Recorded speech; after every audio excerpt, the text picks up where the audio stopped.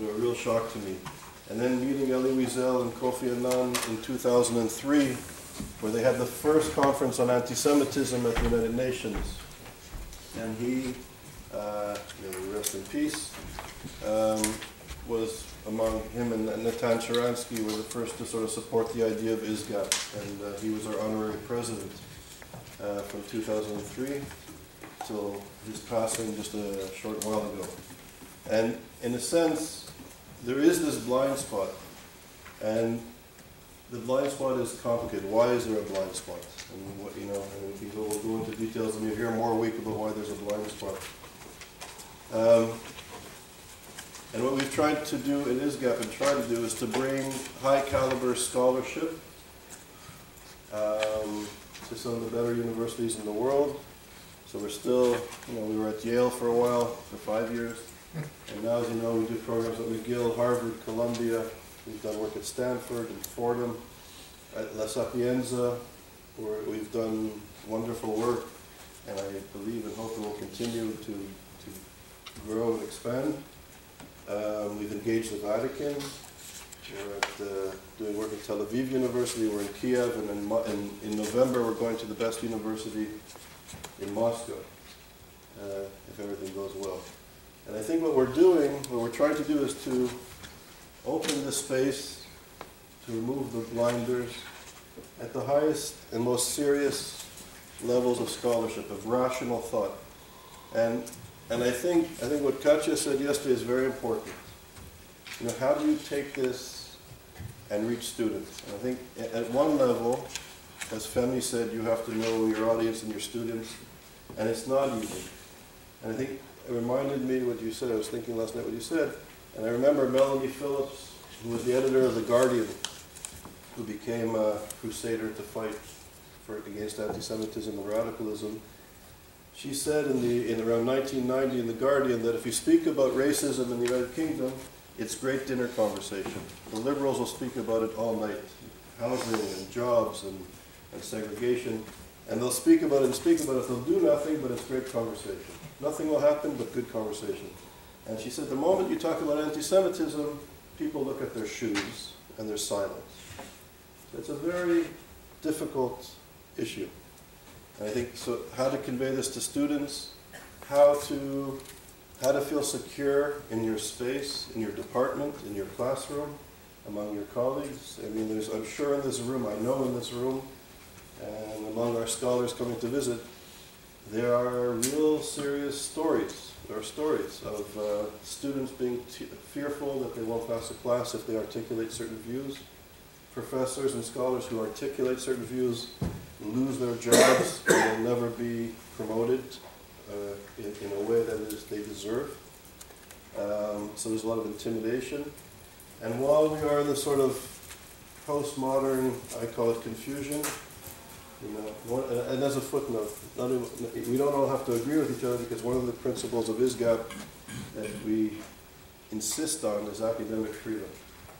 Freedom to discuss, to debate, to, to, to argue, but one of the things I learned here is that I would argue with somebody over lunch, and they would give me two or three references to read, and I would go and read them, what they wanted me to read. And I would come back with five or six articles, and they would actually read it. And they would come back with ten articles, and we'd, we'd spend months and years in this, in this dining room arguing. But we'd both be learning a lot, and that's what scholarship has to be. Not putting people into boxes, but really engaging at the level of ideas. Which brings me to this gentleman. this gentleman, I think, embodies um, the best of what ISGAP tries to achieve. And Haras Rafiq, I think, is one of the is the serious the serious intellectual, one of the leading intellectuals on this issue. And not only is he a leading intellectual on this issue, he's somebody with courage. I think, unfortunately, we all need a little bit of courage in this business. And Haras has, um, I first met him in Jerusalem when he came to the Global Forum to speak on anti-Semitism. That was about six months ago. 2009, I think. 2009. So we're getting there. And since that time, we've uh, been meeting and collaborating. So Haras is the managing director of the of Quilliam. He's all, he was formerly a member of the UK government task force looking at counter extremism in response to the 2005 bombings in London at Russell near Russell Square, as well as being a peer mentor for the IDEA, advising regional government agencies. He's also worked on a number of projects relating to the analysis of radicalization, as, a, as well as the de-radicalization of extremists, and has presented on a number of academic and political platforms nationally and internationally. Some of his, in some of his work, Haras is committed to countering xenophobia and hatred, and has spoken at many conferences and events, including the Global Forum on Combating Anti-Semitism, as well as a chair of a working group on, of Global Experts uh, Forum on Anti-Semitism in, in Ottawa of 2010. And I think, you know, as we've been saying, and, and some of us have been talking about in, in this lecture, while some interests and some powers and some ideological forces want to, I think in Joel's way, sort of in this irrational, neurotic way, whatever it is, focus on Israel, um, extremists, I would call them fascistic, fascist extremists, have really been uh, in, uh, apt, they've been effective in taking over community institutions, mosques.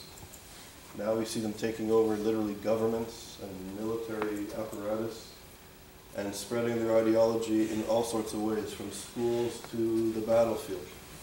And we're living in a time, last year we were here discussing the, uh, the agreement between the P5 plus one, that was sort of the theme of the issue. A year later, we're in a situation where, you know, as we said yesterday, children are burning tires in the hope somehow that they'll create a no-fly zone over Aleppo. And many people are being killed and refugees are being created and uncertainty is growing. And I even think that in the last year, you want to talk about discrimination and racisms, you know, what is the standing of the Muslim community in Europe today, one year after last summer's summer program? What is happening to our notions of citizenship? What is happening to our notion of recognizing the other? You know, how is this conflict fraying democratic societies and our basic notion of who we are? And Haras, I really appreciate you being here, and Haras is really on the cutting edge of uh, confronting these, uh, these issues and other issues that he'll be speaking about today. So thank you for being here. Thank you, Charles. Thank you for that introduction. And although I, I, remember the first time we met, uh, the second time we, we almost met, uh, the second interaction that we had is the one that left quite a bit of, um, quite a mark on, on me. And, and Charles, after we've met, in, uh, in Jerusalem uh, had invited me to come and give a lecture uh, at Yale, I think it was at the time, at ISCA.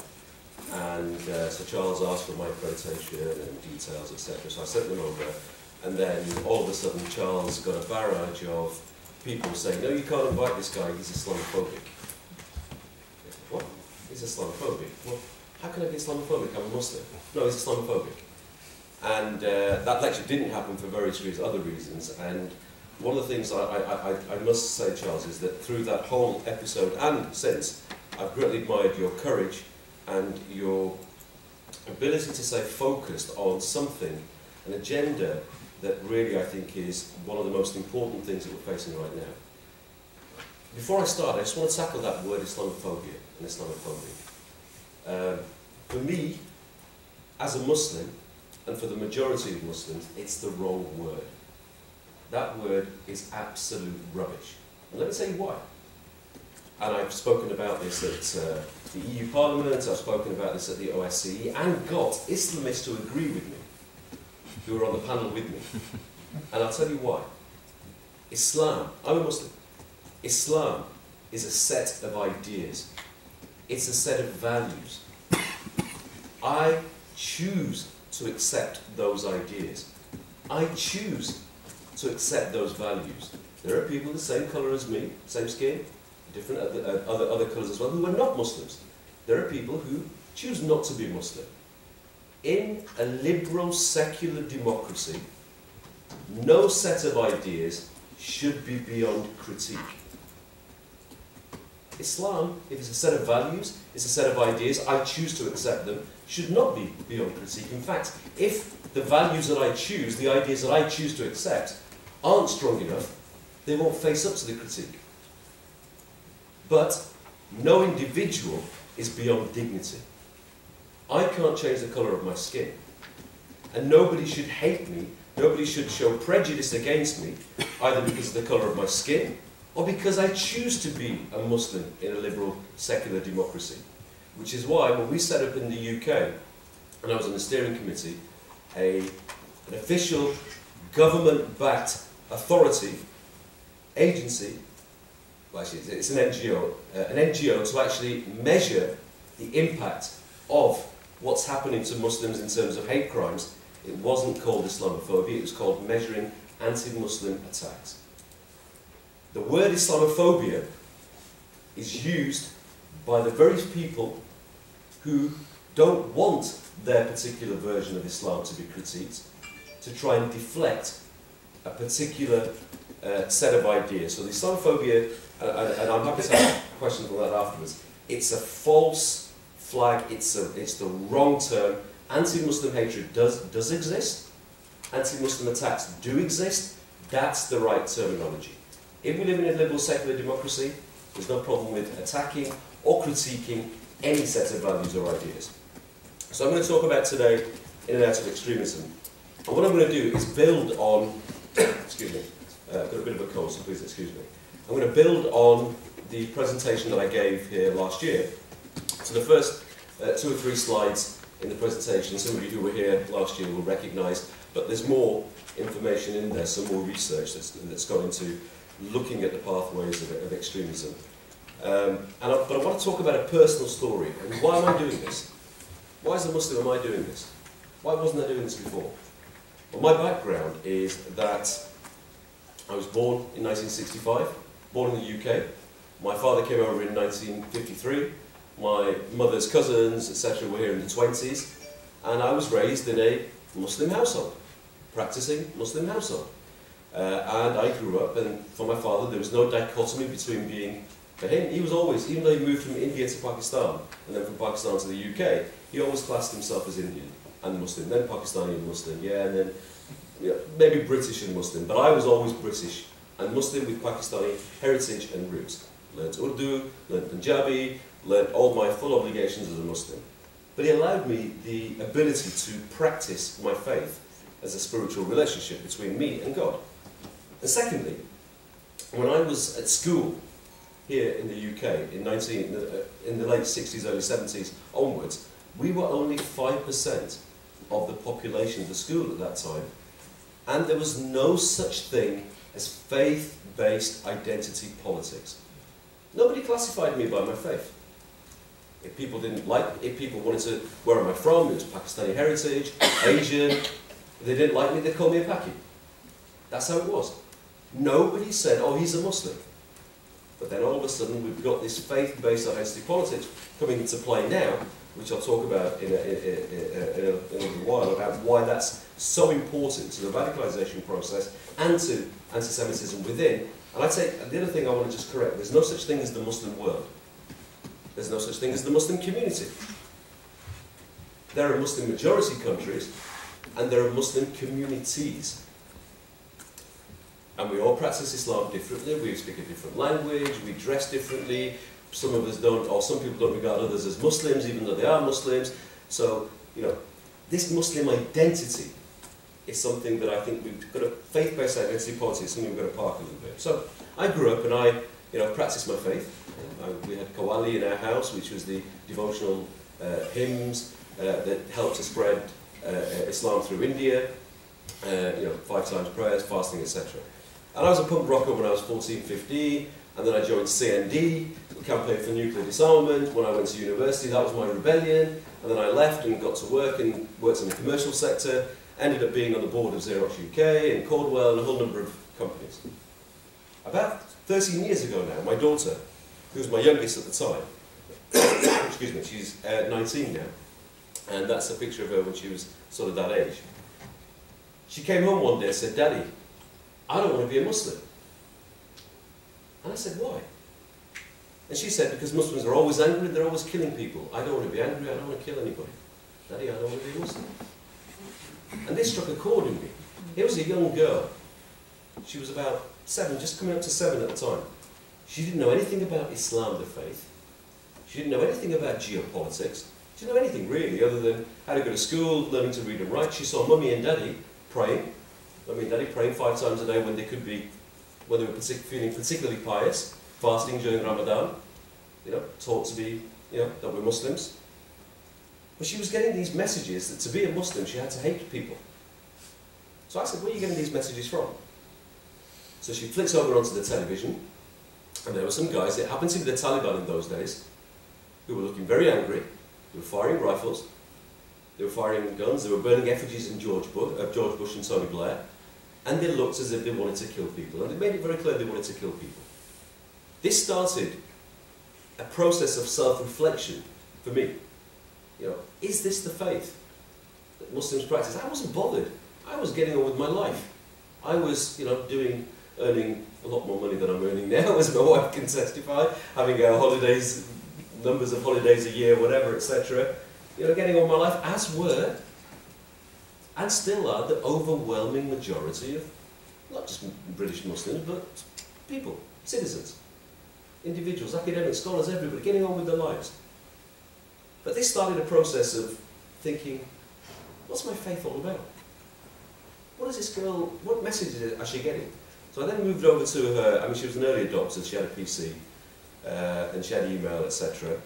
Then she showed me all these emails from her cousins. Don't buy, don't shop at McDonald's because if you go to McDonald's, you're going to spend money and each pound that you spend is going to go and buy weapons for Israelis and Jews to kill Pakistanis. Then said Muslims, said Pakistanis. And there was all these things and all these text messages I was getting, etc. So I thought there's something going on here. So I, I got, got my backpack and travelled around the world, ended up in some very, very strange places, uh, and eventually came full circle that the uh, Islam that my parents brought to the UK is Islam that the overwhelming majority of Muslims around the world do practice.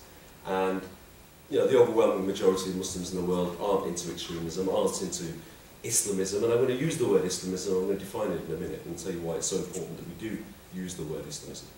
And, uh, you know, people aren't Islamists, and, you know, people are not.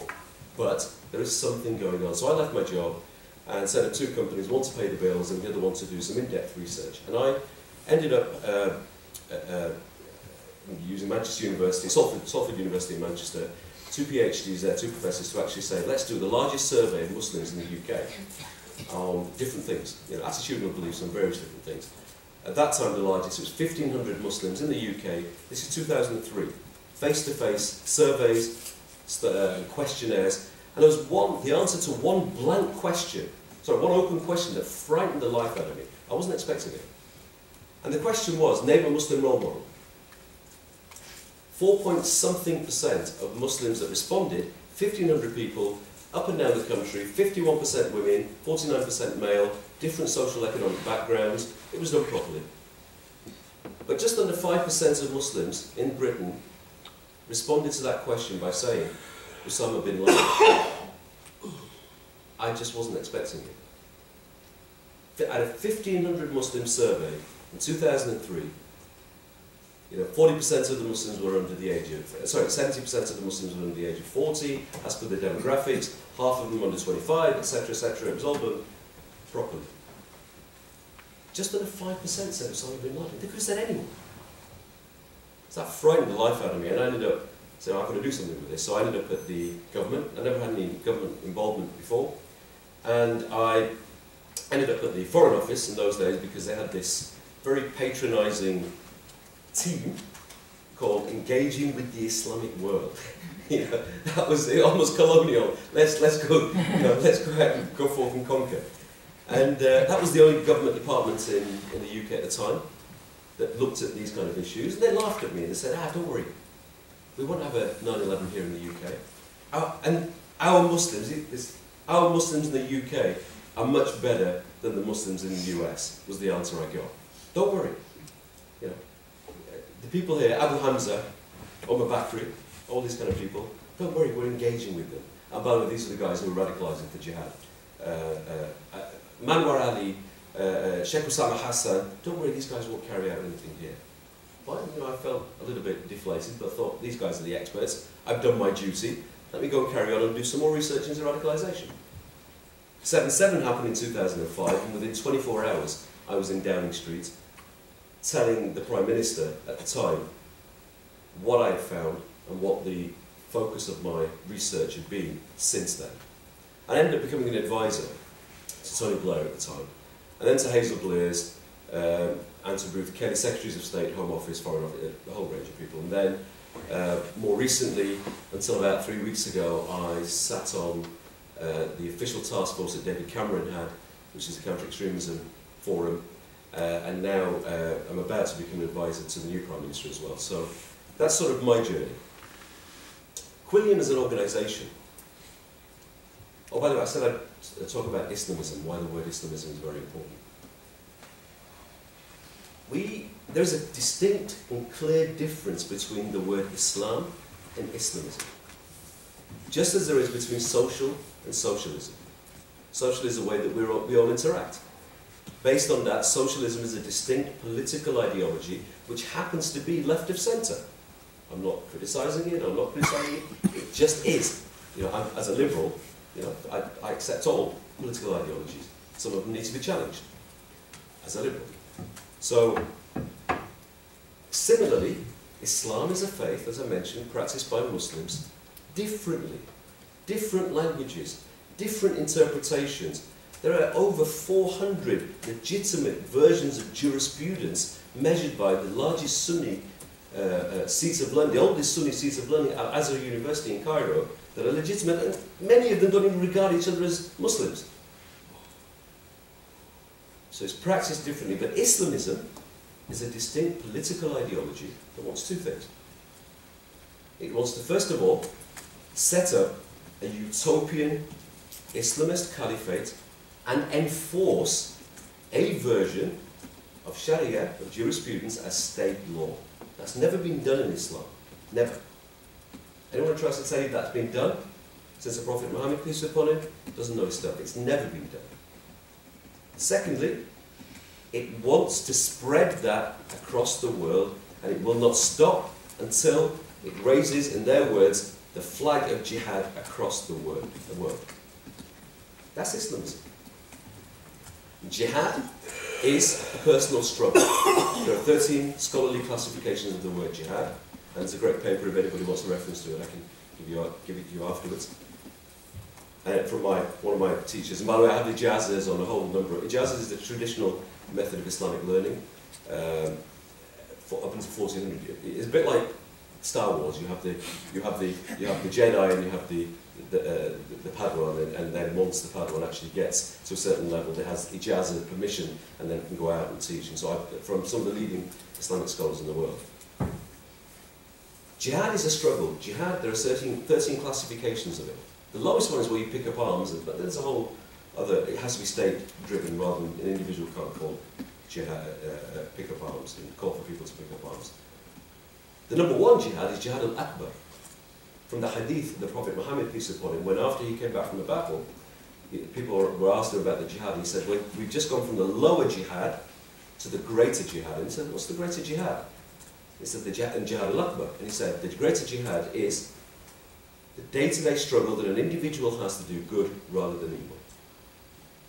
But jihadism does exist, and it's separate from jihad. Jihadism is the use of force to implement the Islamist state. That's why we've been saying for years, and now we're seeing it, we're living in a time of, a global jihadist insurgency. ISIS as a, as a state does not, its ability to exist as a proto state is gone. It's lost 40% of its land in Iraq, it's lost about 12 to 15% of its land in Syria. Excuse me. Its economic, its earning potential power has gone from somewhere in the region of about $3 million a day to about a million dollars a day uh, from oil and the black market and extortion, etc., which we can get onto. But the ideology still exists. And one of the biggest mistakes we can make is just to talk about ISIS as, a, as an organisation we need to counter because 10 years ago we were now we're talking about ISIS-inspired extremism. 10 years ago we were talking about Al-Qaeda-inspired extremism. We've talked about Muslim Brotherhood-inspired extremism. Well, ISIS and Al-Qaeda did not inspire extremism. Extremism inspired them. Hmm. Key to remember. In five years' time, ten years' time, there will be a different acronym that we will be talking about until, unless we get to grips with this problem. So why is Islamism important, the word? Well, in the UK, we're having a nuanced debate. Our government, our leaders actually show, it's not where it should be, but it's a step in the right direction. We're starting to have a nuanced debate, and it's been a long struggle. We use the word Islamism, and we differentiate it from Islam. So does our government, so do a whole range of people, which means that we haven't got the, we haven't got people like Donald Trump. We haven't got populist far right. The biggest populist far right party in this organisation, uh, sorry, uh, uh, uh, organisation in the UK that goes on marches is now a march organisation called Pegida, very big in, the, in Europe. Here, at the last march, they had 250 people. That's it. We're having this nuanced debate. You know, we've got the regressive left that say there is this problem that we're facing has got nothing to do with Islam at all. And then we've got the far right, populists that say it's all Islam and all Muslims. The reality is somewhere in the middle. It has got something to do with Islam and some interpretations, and I'm going to talk about it, but it's not all Muslims.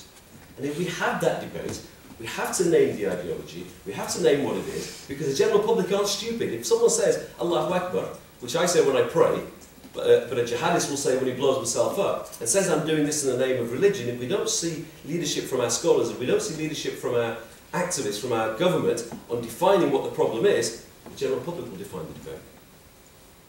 And then we see people like Donald Trump, who I call the presidential troll, by the way, on CNN, live to his face.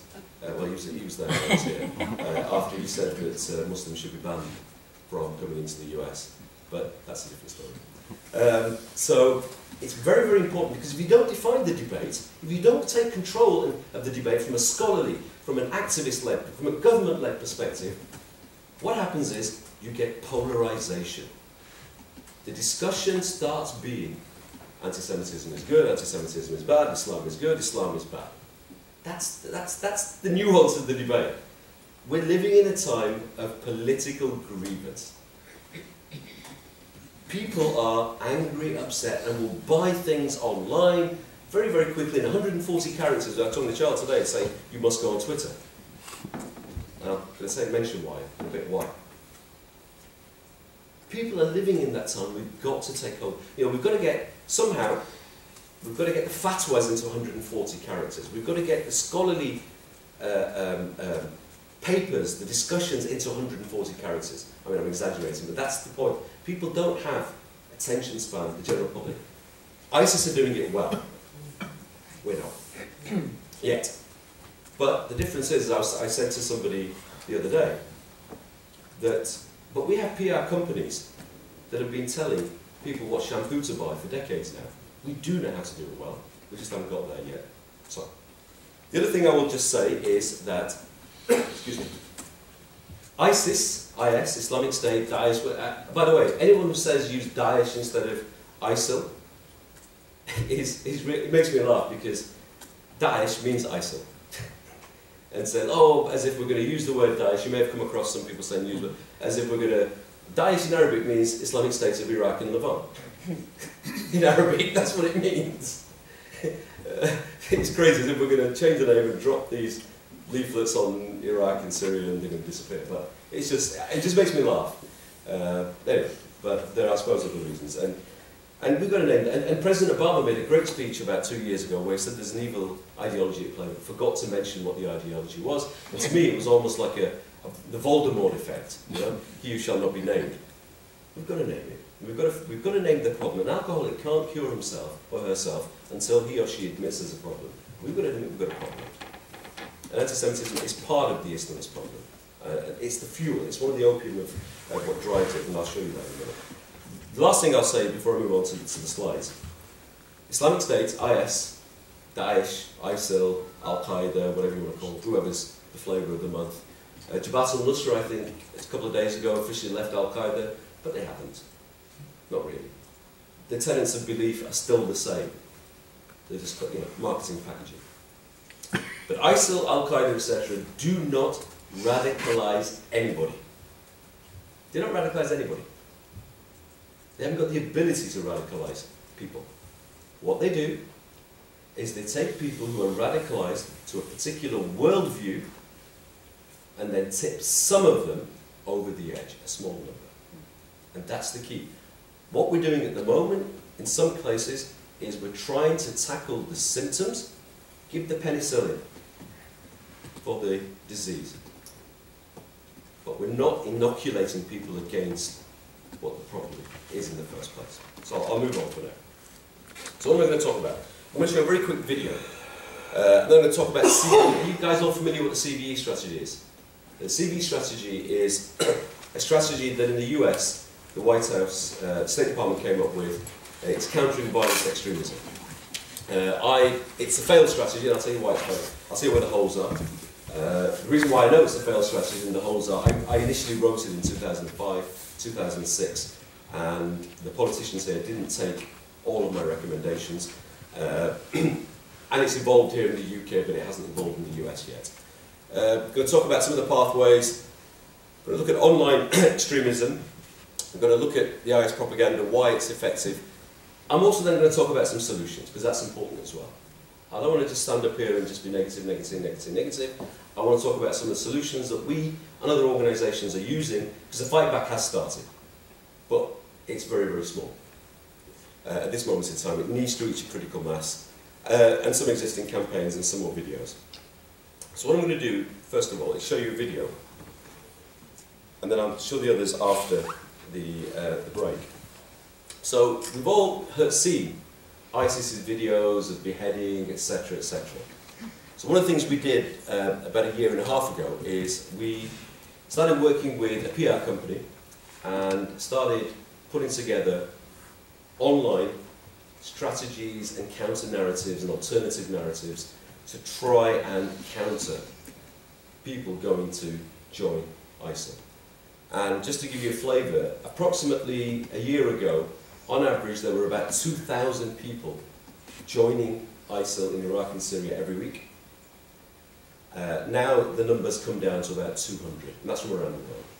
So this is something, and it's won numerous awards from The Guardian and various other places around the world, and this is one of the videos that we made. And it's about, this particular video, is about recognizing that the words that we have, the words we use, have an impact on other people. So just have a look at this and then we can. How did you do the light stuff? White straw. Hey, bro. I know right now I don't want to talk to you. Thing is, I wish I could see your face now. I tell you I was sorry. I tell you that I wish I could take back every time I sent you a tweet or got all gassed up saying how the West has turned its back on us. Saying that I wasn't no Mujahid. I could see what the brothers in Syria were fighting for. Because that's what it all changed, wasn't it? And you started sending me all those ISIL films go to those meetings you wouldn't tell me about. You just threw all that stuff I'd said back in my face. Just said that we should fight for what we believe in. I knew. I, I, when I said fight, not like that. Not if it means the last memory I've got of my kid brother is him saying, I thought this was what you wanted, bro. I thought you wanted me to be a hero until you get it. You've been my hero since the day you were born. So please, just come home. I'm sorry, bro. And I hope they're treating you like the hero always thought you were.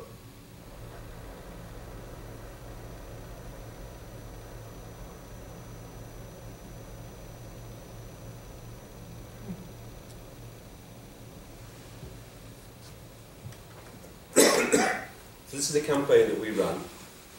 Off the back of this and other campaigns, just to give you an idea, we get, I get on average five emails every week. that's what I get. Other people in the organisation get gets them as well. But I get an average five emails every week from family, friends.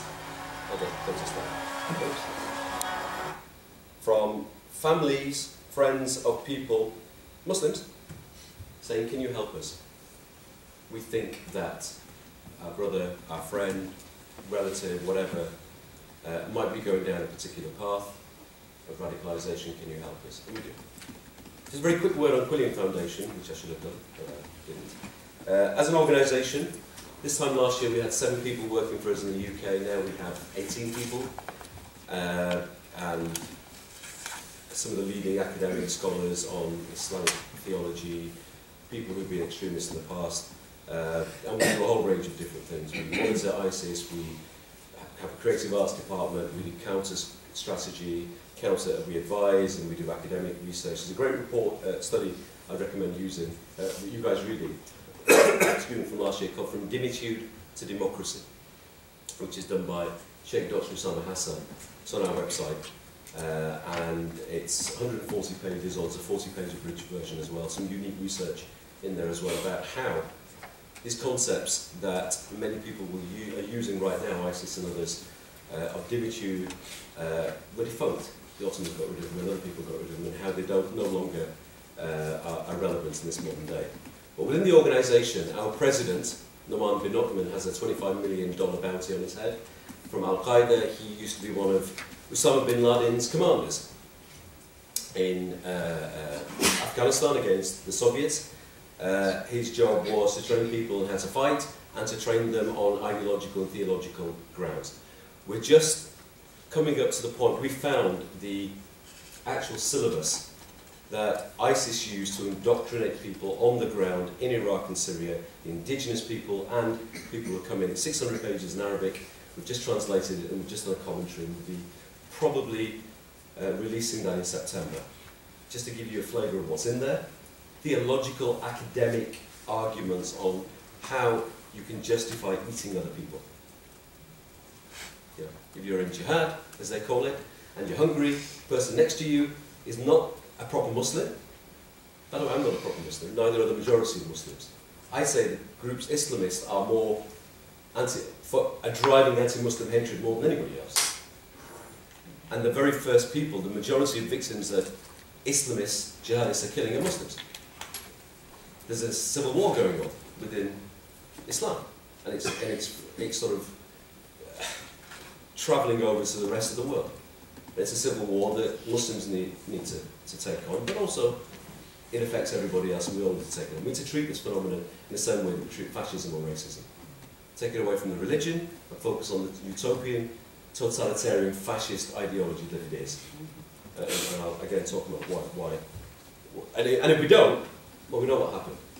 We know what's happened in the past. When utopian, fascist, totalitarian ideologies are not tackled and not challenged. So, but go back to it, so we have Osama, uh, former commander Osama bin Laden, who's our president. We have Maajid Nawaz, who is uh, chairman, who served four years in the past in Egypt for trying to instigate a military coup for an Islamist organisation, Hizb ut-Tahrir. Uh, we have Sheikh Dr. Usama Hasan, who's also fought combative jihad in Afghanistan. Anjem, uh, uh, have you guys heard of Anjem Choudary? Anjem Choudary, the British so-called go-to scholar for Fox and CNN, who, if you want to, you know, have somebody who calls for jihad on TV, he's the guy they wheel on. Uh, well, I can tell you, is it Friday today? Yeah, it is. I can tell you last Friday, is this Chatham House? It's not, is it? Here, no. Okay. Um, are we? This won't go out on air anywhere, will it? Until next, by the, until next week. No, for a couple, about a month. Uh, there's a there's a there's a there's an embargo on reporting this uh, because his trial affects another trial. He was found guilty last week of material support for uh, jihadism. Last Friday, he's going to be sentenced on the 8th of September. I was there at the trial. Uh, we gave evidence, and uh, he, you know, at last, he's going to, you know, he's going to. but you know, we, we, we, we have these kind of people that we need to tackle and we need to challenge. So, while his organisation and Adam Deen, who used to be a very senior member there, is, is with us. So we have a whole range of people uh, that have seen it, done it, been there, academics, theologians, who were on the wrong side of the fence at one time, but have now disavowed the whole ideology and theology. And this is why, as an organisation, we've seen some of the success that we've had because we're able to talk to people on, a, on, on using the same language that people will understand. One of our guys doing de-radicalisation work went to somebody who was fighting out in Libya and, and then Syria and said, yeah, did you buy weapons from such and such a place when you were out there? He said, yeah, we did. He said, they didn't work, did they? He said, no, they didn't. He said, the springs were sawn off, weren't they? Exactly. Instant rapport. People who've done things together. And that's one of the reasons why I think as an organisation we've grown and you know, welcome, anybody's welcome to have a look at our website and come and see and visit us. And Charles and I are going to carry on working. And we're growing and we're going into the US and Canada, uh, hopefully within the next 12 months, Australia, France and other places. Right, so let's look at the CVE strategy. So CVE strategy is about that thick, or you can look at this one slide. when, we, when we came up with this, we, we thought, okay, the bar stool test, the elevator page. How do you describe it, the whole strategy in one, in one, in one slide? If we take the, the red as attitudinal beliefs of Muslims anywhere in the world, can be anywhere. In this case, let's say the, U, the UK. At any given time, X percent, and the numbers change and vary. And I don't, and I don't like putting numbers up there because, you know, uh, sometimes they can be frightening, and by the time you put numbers up there, they're out of date anyway. Um, but X percent of Muslims, and a small number, uh, a very small number of Muslims at any given time, will directly support and do directly support ISIS and Al Qaeda and Boko Haram and Al Shabaab, jihadist organisations. Y percent sympathise. What's sympathy? Well, sympathy is Muslim Brotherhood, Jamaat Islami. People like this who say, you know what, I don't believe in Baghdadi as the Khalif.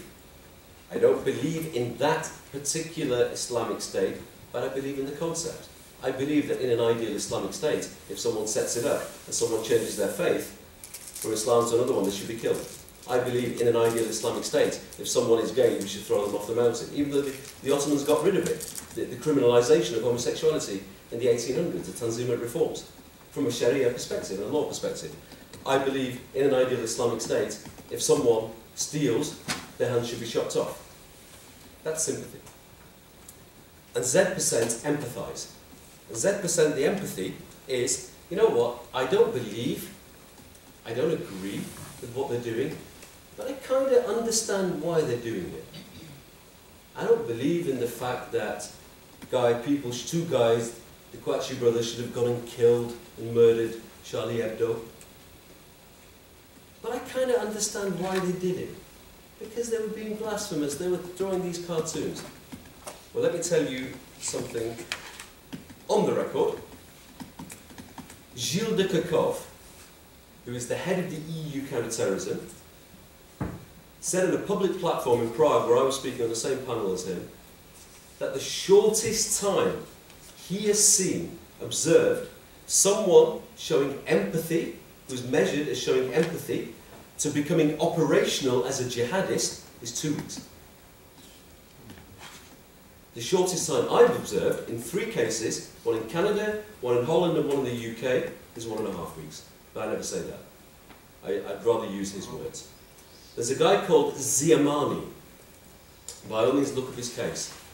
Last January, he was sentenced to 22 years in the UK for trying to emulate the killing of Drummer Lee Rigby.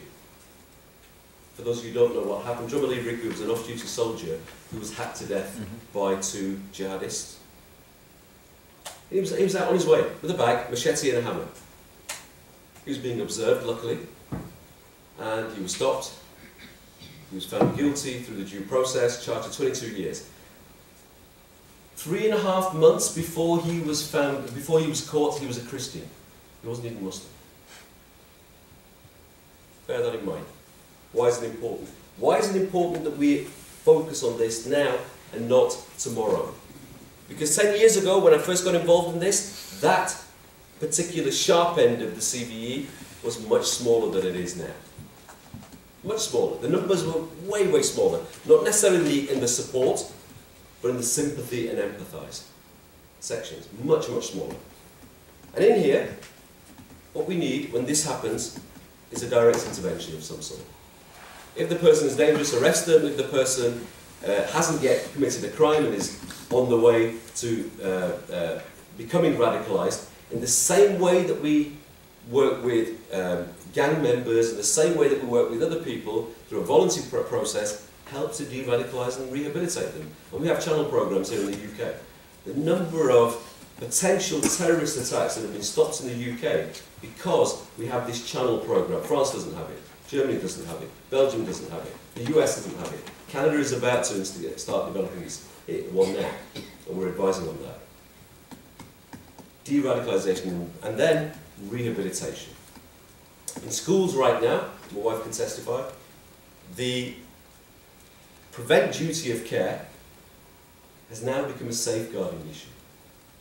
If there are people in school, teachers now in schools, in the same way that they look at racism, in the same way that they look at child sexual grooming, see people being groomed and don't do something about it, somebody can go to prison.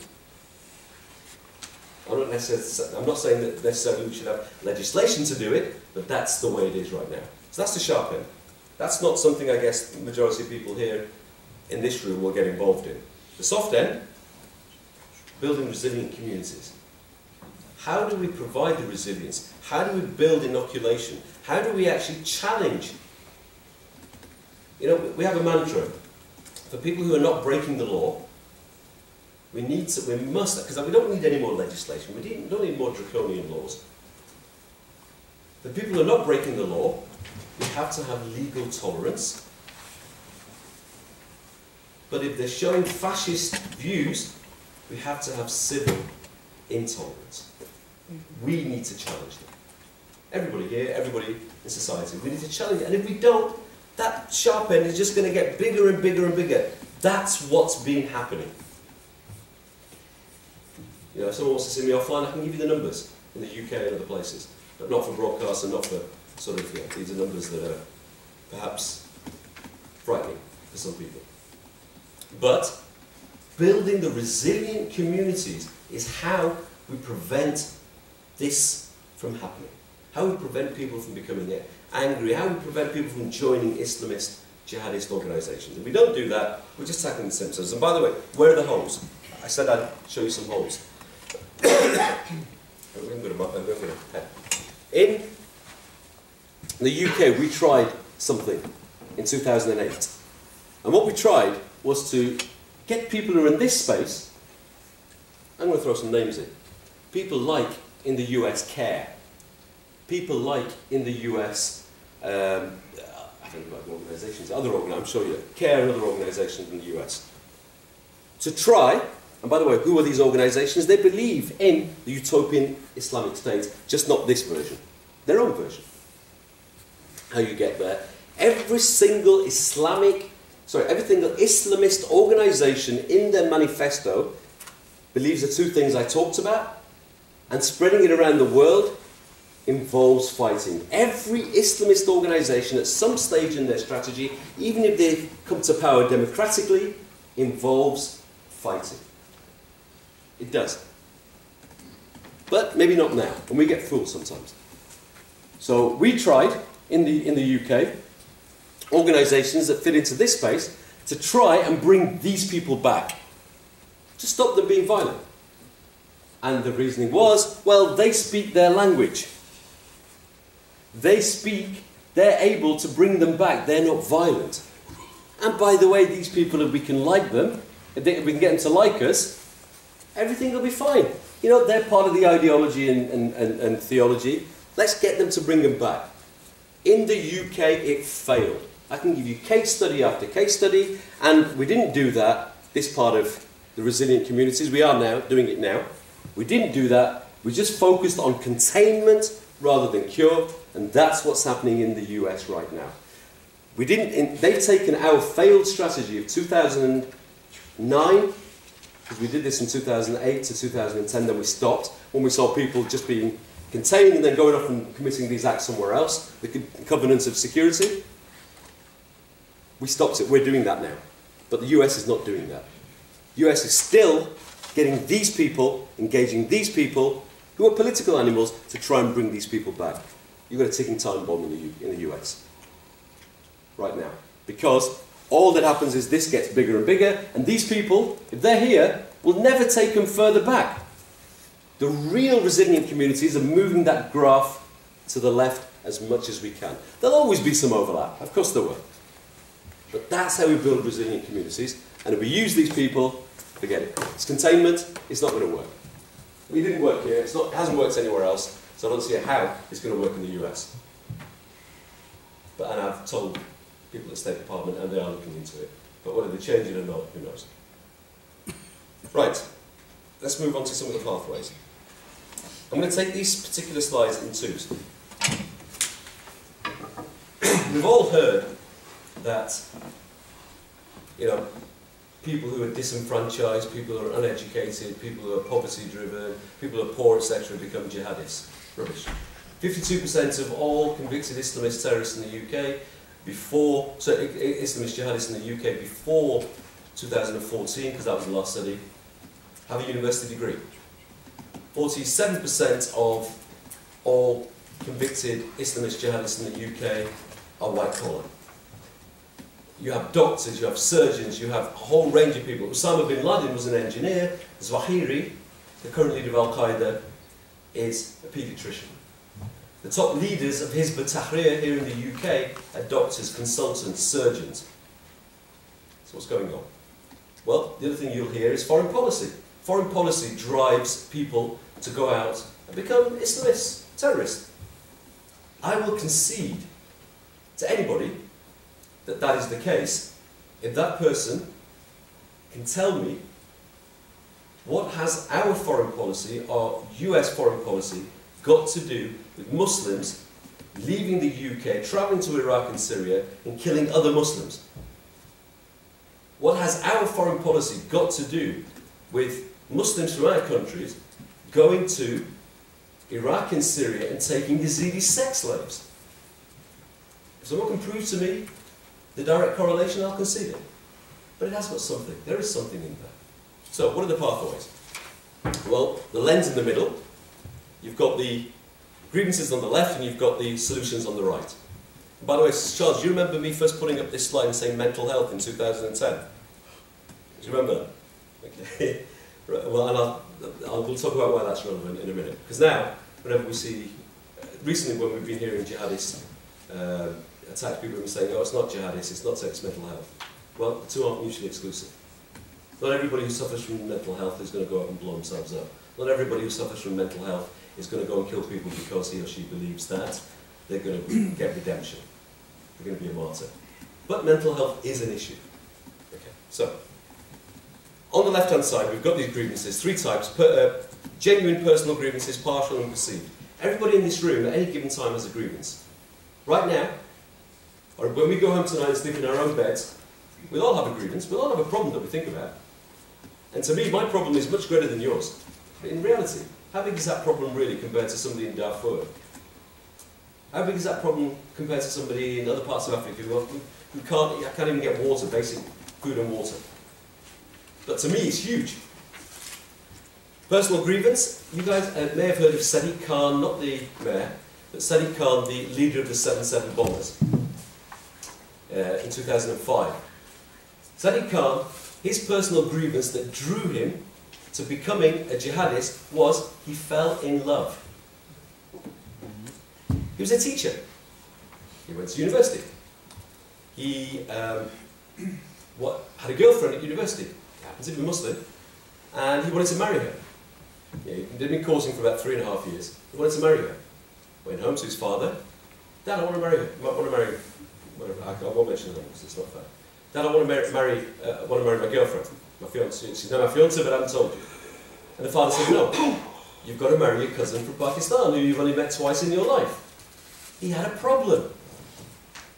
There were people, part of Anjem Choudary's group, it happens to, you know, it's not a coincidence, but it happens to be Al Muhajiroun in those days, who gave him theological responses back to his father on what he could say to him to pers- persuade his father from the Quran that you're not a proper Muslim by forcing me to do this. And guess what? The father conceded. He now had a new family, a new identity.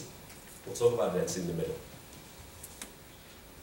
Then you've got partial grievances. Of course, foreign policy. I mean, I, I'm one of a million people that marched against the Iraq war in 2000, uh, whatever it was, when we went into Iraq. There are grievances that are based on a partial truth. There are problems with some of our foreign policy, of course there are. No country's foreign policy is entirely perfect. But there are good things in our foreign policy as well. But people will play, charismatic recruiters in the middle will play on these partial grievances to bring people in. What has Israel Palestine got to do with people travelling all these miles to go and kill other Muslims?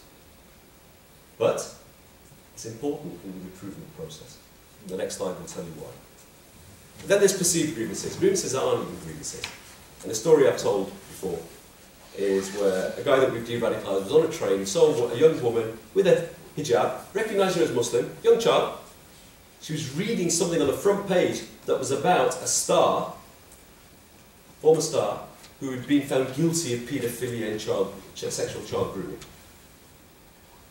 He very quickly thought, this is a guy, you know, university educated, senior member of Hizb Tahrir, I don't know, uh, senior member of Hizb Tahrir, he recognised, uh, by the way, it wasn't David, I just said hi to him, uh, senior member of Hizb Tahrir who suddenly realised that at that moment in time, that woman, that mother, must be thinking about, must have a concern about her child. So he went up to her and said, you know what, you're never going to find safety for your child. You never, never met her before. You know what? It's a real problem. The Western society is immoral, it's corrupt. The Jews control the media. This is all the Jews doing all of this. You know, the Jews control all the stars. The Jews, you know, have a history of treating children badly. Guess what? They just want other people to do it. There's no, no security for you in our society unless you join our gang and join the global Islamist Ummah gang. That's what I call it. It's a gang. In the middle, we've got the intellectual, the ideological, social, emotional, spiritual aspects of the narrative, push and pull factors, and people talk about online and offline. I've actually heard some crazy, crazy so-called academics stand on a platform and say, the internet radicalizes people. Well, you don't go online to buy a pair of shoes or a hand, handbag and accidentally end up becoming a jihadist. You have to be looking for something or somebody has to find you. Every single jihadist, and we've done research into this extensively for a number of years, apart from one person, every single jihadist in the West that's been convicted has had direct contact with somebody. All the internet is, is a space. It used to be mosques, used to be community centres. And this is why Charles needs to go online, because people are online. People are on Twitter. People are doing what we should be doing if we're serious about taking our academic studies to the masses, we need to go online. ISGAP needs to be more active online. And then there's solutions on the right-hand side. But I just want to talk about this in a bit more depth. So I talked about genuine grievances. I talked about the partial grievances, uh, and then obviously the things, uh, uh, the solution on the right. In the middle, what is the lens designed to do? And this is where I say ISIS does not radicalize anybody. The lens is decided to enact seven key behaviors. The first one, the otherization. That people inside the lens, the prism, the gang, are different to everybody outside. Everybody outside is driven by the Jews. I'm apparently a Ziocon. you go online search my name, Ziocon, apparently I'm a Zionist and a neocon, and they've abbreviated it to Ziocon. Well, I'm far from a neocon. um, but, again, the Jews, not Israel, the Jews are driven. Rothschilds and other Jews are, are the people who are controlling the other. Then there's the collectivization, the second stage. Everybody outside the lens is the same. And other Muslims as well, to the left of the lens. Then the oppression narrative. Everybody outside of the lens is oppressing them inside the lens. Then you've got the collective guilt. And by the way, people who aren't oppressing them, by the very fact that they're not doing anything to actually counter the, impression, uh, the oppression, in inverted commas, is complicit in the oppression. Up until now, no violence. Are ideas. Challenge those ideas. They need to be challenged because if they're not, and this is the sympathy and empathy. Then we've got the supremacism narrative. This is where it starts to get nasty. Everybody in the group is superior to those outside. Then on stages six, and up until then, ISIS doesn't get involved. Al Qaeda doesn't get involved. It's people in universities that do it. It's people in schools that are doing it. It's people online that are doing it.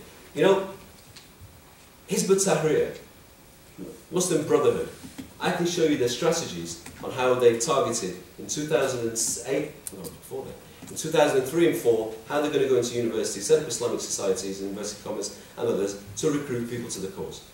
And they're doing it. Trying to counter it, but they are doing it. Not a whole deal, but not to violence, but just the first one to, one to five stages. And then people, some people leave, leave as well themselves. Some people go in, some people, like I when I joined CND, I was in for a while and then left. But when they get to six and seven, that's when they believe that self-defense is absolutely imperative, and then the idea of violence, that violence is the only way. And what they're told is that the solutions are the utopian Islamist state, that's God's the theological justification, let's face up to it. There is an interpretation of Islam that was set up in, uh, in the 1800s by Muhammad bin Abdul Wahhab, who got it from Ibn Taymiyyah, who got it from the Khawarijites, to fight the colonial Ottoman Empire that justifies this. That is Salafism. And there are three forms of Salafism quietist, revolutionary, and jihadist. But al-wala al-bara, within Salafi traditions, justifies this. Jihad Kitab, within Salafi traditions, justifies this. That tradition says that if, once this so-called jihad has been called, once this utopian Islamist state has been called for, which is the political side of it, you can't be in God's gang unless you join it. And by the way, God will reward you for it all these guys have done is taken fascism from Europe, imported it into the Middle East in the 1920s and 30s, Sayyid Qutb, Mufti Amin, uh, uh, yeah, Mufti Amin, and a number of others. And instead of doing it for the state, or instead of doing it for the people with communism, do it for God. They put in the God factor. And then we've got revenge. Revenge is becoming more and more of a solution for people now as well, because we've got the drone attacks in Pakistan, you know, Obama did say that he would uh, stop the drone attacks, but there are more drone attacks that have taken place under Obama than Bush, I think, and than anybody else. Um, but there are people who have relatives, who know people who've been affected by this, the war on terror, and who want revenge. Then the final one, solutions to mental health. Al-Qaeda, this was a paper that was delivered in the White House in 2006 by, I think it was by Sheikh Rabbani, or maybe Hedieh Mirahmadi, that I was there. I, I was there.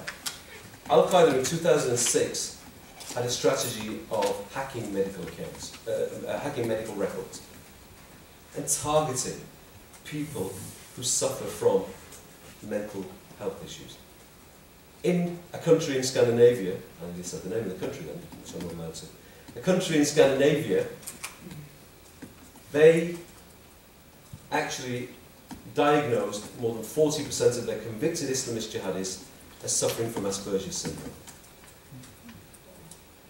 The, you know, we talk about now the guy from Orlando who mental health issues. Of course, of course, there is something wrong with somebody who wants to go and blow himself up. Of course, there is, but something is taking them to that point, and it's these solutions. If you look at ISIS's recruitment video, the very first one that most people saw was sitting around a campfire, almost. The guy on, on, on the right-hand side from Scotland talked about come to the land of jihad as a cure for depression. He was depressed for so long.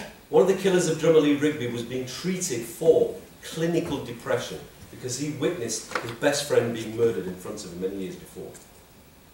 These are solutions that have been provided by people, but the key is the lens in the middle. In the lens in the middle, there are certain key things that are the few. And one of them, it's not the only one, anti-Semitism. Anti-Israel. Focus on this, focus on this, and get on with the rest. Why aren't these same people focusing on Darfur, where more Muslims die in Darfur in one year at the hands of other Muslims than have died in the whole Israel-Palestine conflict? Why aren't these people focusing on Kashmir? Why aren't these people focusing? Because this helps them with the partial grievance, believe the otherization, and who is the other? Amongst other, other Muslims like me and others, Jews. Without the Jews, it becomes harder for them. Or without anti Semitism, it becomes harder for them to create this lens in the middle. In the 1980s, I mean, it's not the only fuel, by the way, but it is, it's, it's one of the fuels. The 1980s, my father sat me down and said, Son, before I went to university, um, people hate Jews. What's it all about? I said, What do you mean, Dad? He said, "Pe- I- I- People are starting to say Jews this, Jews this, and saying. I, I, I went to a mosque on Eid two years ago. The Imam, a mod, moderate Imam, maybe two or three years ago when there was the Israel uh, Gaza thing going on during Ramadan. Eid sermon, a khutbah, told people not to buy Coca Cola because each bottle of Coca Cola is buying a bullet, it's killing a Muslim. Tesco's, uh, my wife just gave me another one. Tesco's, she was there. Tesco, don't go to Tesco's. She's reminding me. You were down, yeah, you were there. Reminding me of all, all, all these kind of things. My father in the 80s said, What's this all about? You know, you know, I said, What do you mean, Dad? I says, Somebody told me that to be a Muslim, I had to hate Jews. But it was totally alien to him. My father was a scholar amongst the Sufi traditions of Islam, follower of Hanafi tradition. He never ever incorporated in India, when he came to Britain, anti Semitism. Why all of a sudden am I going to hate Jews? But now, people are telling people that the only way you can in God's gang is to be anti Semitic and hate the Jews. Why? Because they're God's enemies, they're your enemies. It's part of it, it's part of it, it's part of the otherization. So, oh, I'm just thinking, looking at the time, I've actually taken longer than I thought it, but I was going for another 14 minutes on. So, online extremism. Interesting, some interesting facts. In, during the so-called jihadist incur, uh, um, uh, incursion in Afghanistan, the typical age of people that were going over to join the, uh, the so-called jihad was in between 25 and 35 and no women.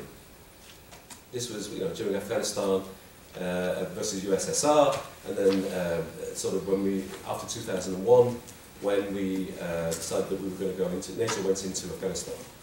No women. Now, going to Iraq and Syria, the typical age range of people that are going to join ISIL is in between 14 and 25. and in the Western world, in between 10 to 15% of them are young girls and women. Why? number of reasons. One is that the internet's helped the concept of leaderless jihad. And this is what we talk about, the concepts of the global jihadist insurgency. People talk about lone wolf. I don't like the word lone wolf as well because lone wolf insinuates that you just sat there in a bubble and you've suddenly ended up becoming radicalized. I prefer self-starter because you have to have the contact with somebody. You can't, it's, it's virtually impossible just to sit there wondering, I'm going to be radicalized today. I'm going to become a jihadist. Somebody online or somewhere has to be in contact with you. Give you these ideas, give you these beliefs. The Orlando massacre. The end of the day, I can't go into it too much, but at the end of the day, one of the key drivers for the guy who carried out a number of key drivers. First of all, there's evidence to suggest that he was gay. There's evidence to suggest that he repressed, tried to repress that. There is evidence, I'm going to be very careful what I say. There is evidence to suggest that he had a problem with that. There is clear evidence that there were people that persuaded him that as a Muslim, he can't be gay, he'll be punished, and one of the ways to redeem himself and become a martyr is to go and carry out these acts. There's clear evidence of that. There's a guy, there are. Have you, have you heard of the three girls from London, Bethnal Green, that went out to join ISIL? 16 year olds. Okay. One of them is a girl called Amira Abbas. She was 15, sorry, she was 15 when she went. Amira Abbasi. Um, her family, I think, are from Somalian origin. Father migrated to, to the UK. She was born here. And after she went, 15, three of them, she went when she was 15. After she went, she, her father was pictured on a BBC website clutching a teddy bear, crying for his daughter to come back. I believe, genuinely believe, that his tears were real as a father. I genuinely believe that his tears were real. He went to Keith Vaz, one of our par- parliamentarians, invited him to the House of Commons to give evidence, and he blamed the police. And the police, you know, in the era of political correctness, not wanting to face a, a libel case, sent a sort of a very carefully worded apology to him. Sorry, we didn't do enough to stop your daughter from going to Iraq and Syria. Four weeks later, two videos emerged. And in those videos, there was him, he was there, and his daughter, Amira Abbasi, who was 13 at the time, at two marches where they were carrying the black flag of ISIL, burning the American flag, and shouting anti Israel and anti Semitic comments. He inadvertently had created the whole mm-hmm. lens at home. He didn't tip her over the edge. ISIS did that. People in ISIS recruited her, and, Uh, and there's a whole, we'll go into that another time. But he created the atmosphere. But online, if you're on Twitter, you're on social media, you're on Kik, you're on all these different social media websites, a young girl sitting at home who's being re- socially regressed, sorry, a family of politi- socially regressive, don't allow her out because it's cultural. You know, some of it's cultural, some of it does come from some Salafi versions of Islam, but a lot of it is cultural. Don't let the daughter out. Don't let her go out and do all the things that the boys can do. She's sitting at home, she's got another life, she's talking to somebody in Iraq and Syria. It's almost as if she's talking to Baghdadi himself. or a representative Baghdadi. It's empowerment, it's emancipation, believe it or not. To go out all the way to Iraq and Syria for a lot of these young girls and wear the, the burqa, the niqab, and not be allowed out without a, a, a mahram, a person, it's emancipation. It's a cause until they get there. It's the idea of a cause. So, online extremism exists, and, and more and more girls, young girls, are getting involved. What's been tried? Negative measures. Well, you know, the British government has had social media companies taking down 1,100 websites and social media accounts down over the last two years, every week. As soon as one set up, uh, second another one sets up, straight away. You know, it's just a constant case of taking them down and, and, and, and then they pop. Whoops. Filtering, hiding, and limitation, blocking. But the problem is, for people, if we just use negative measures, all we're doing is creating this victim mentality amongst people who say, look at us, look at what social media are doing, look what the government's doing. We're actually just trying to portray, all we're doing is portraying what Israel is doing against the Palestinians. All we're saying is what the Americans are doing against this, blah, blah, blah, blah, blah, and they're taking our website down. What they forgot to tell them was, or they don't tell them, is that there was a video also on there of beheading. They don't tell them that. Just, yeah, this is, look at our body of our work. This is all we're doing. And it creates this victim mentality, this otherization. So, what should we do? That people are not breaking the law. Well, we need to find counter, alternative narratives. And that's why I showed you the video, and we need more of it. The propaganda war is something that's going on, and I think somebody yesterday used the word propaganda. Pro, somebody used the word propaganda. Yeah, of course there's a propaganda war. One of the reports that's not on the reading list, and I did actually send a link, I'm not sure who I sent it to. Uh, there's, there's the, on, on the reading list that I suggested, there's a report on there called The Virtual Caliphate. Do read that, because what that does is uh, it's, it's, it looks at the theory behind the propaganda war that ISIL undertake. But the one that's missing is there's another report called Documenting the Virtual Caliphate. That's the one I really want to read as well. Because what we did was we, for one month, the month of Shaban, measured and monitored the official propaganda that ISIL are sending out. And guess what? there's some frightening things in there. One is that on average, ISIL produce 38 unique, bespoke pieces of propaganda every day. And it's transmedia. What's transmedia? It's not just online, it's radio, it's TV, it's print, it's t-shirts, it's a whole range of different things. This is just their official propaganda coming out of Iraq and Syria. What about the disseminators? We haven't even gone into that. Of course there's a propaganda war going on. When we look at the ISIL videos, sometimes we get a bit derailed about looking look at the production. And we having this conversation this morning, sorry, looking at the production value, looking at all of these things and you know, stepping back and saying, you know what? These guys have taken the production of these videos, to, jihadist videos, to another level. These are really good questions, but sometimes they take us away from what we should be doing. We can do that. I mentioned that we've, you know, we have companies, we, we now work with M&C Saatchi, we now work with Verbalization, we now work with a whole number of PR companies, utilising the skills that they have in actually helping to counter this propaganda war. Taking the academic uh, research and the dhimmitude to democracy and the whole range of and taking it out to people, because we're going to take it out to people. What better focus than, than, than, than online? And we've got, to, we've got to ask better questions. We've got to ask more questions around, you know, what is it and how are they spinning this propaganda? Sometimes it can come across that when somebody is pushing the line against Islamism or against anti-Semitism or against something, you know, whatever, any fascist beliefs, it can sometimes come across as, you know what, propaganda, but guess what, these guys are doing it even better than we are. these guys are getting people to kill people off the back of propaganda. So we need more effective responses. You know, we've, you know, I mentioned the, the virtual, virtual caliphate. Something else to, to, to, to think about as well. In their propaganda, we often think that you know, their videos and their propaganda is barbaric. That's what we see. Less than 5% of their propaganda is barbaric.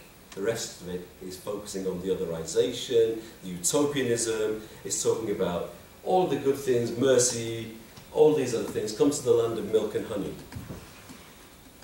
So it's taking these people who have been radicalized to a certain point and then giving them an outlet. Oh, here's a solution. But only less than 5% of their propaganda is barbaric. So why is it effective? Because it's broad. It catches a wide target audience. Why is it also effective? By the way, I'm going to, these slides I'll, I'll, I'll pass on to Charles and you're welcome to, to have these. Why, why, why, is also, why is it also effective? There's about four or five reasons. One is it's anti-establishment.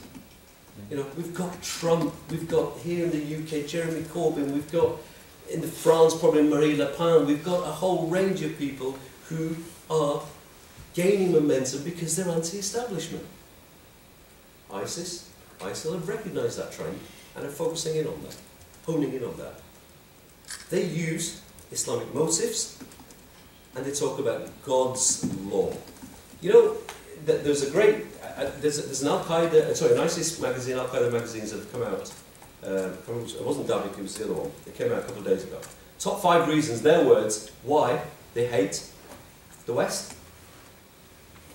Foreign policy is number five. The first one is you're infidels. You don't carry out God's laws. You, um, you are, um, what was it, the other one was, you are puppets to the Jews. Foreign policy is number five. Their reason. And I guess they had to put it in there. But it's not really. I don't care. If, if, if, we, if it wasn't one thing, it'd be something else. The global jihadist insurgency has to have something, the oxygen by which it thrives. It's the Islamist ideology, it's the anti-Semitic uh, view, worldview, and it's all the other things that I talked about. The movement, technology. You know how they do you know, do you know how ISIS are honing in some of their missiles in Iraq and Syria? They're using iPads. iPads and GPS linked next to the missiles. I've photographs of them linked next to the missiles. Da, da, da, da, da, stepping back, and the missiles are landing where they're supposed to land. But more than that, they're using internet, social media, Kik, all these different Telegram, and all these things. Finally, I meant to mention, ISIS doesn't radicalise anybody per se. They take, uh, in on other things. I think I'll stop there and then carry on. Uh, I think in terms of slides, I sort of there's, there's only about another five, five, six slides, but we might do that after the break. Yeah, whatever's good for you. Yeah, I, yeah, and, Yeah, okay, so we'll can get a we'll break for tea. Before we break to tea, I want to welcome Dr. David Hirsch from Gold.